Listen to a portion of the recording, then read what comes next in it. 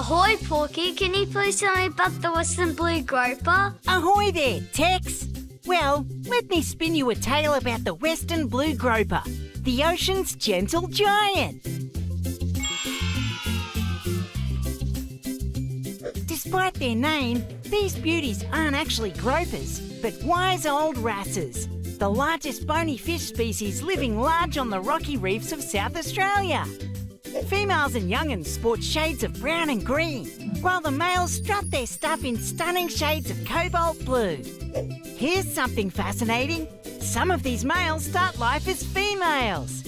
And if the large male disappears, guess what?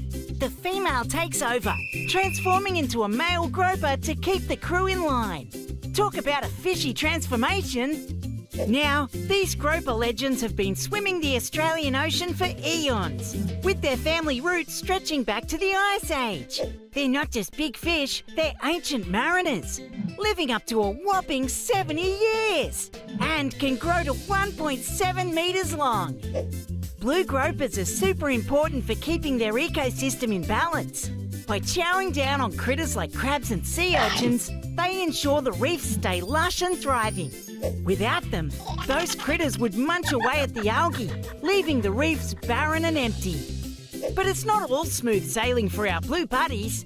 They face their fair share of troubles from those pesky spearfishers and overfishing, earning them a spot on the vulnerable list. Especially since they don't reach maturity until they are at least 15 and are not fully grown until they are 30 years old. But fear not, fellow ocean lovers. We can lend a helping hand by keeping our oceans clean and clear of rubbish. So grab your bags, pick up the trash, and let's give these blue beauties the love and respect they deserve. Porci's Ocean Patrol.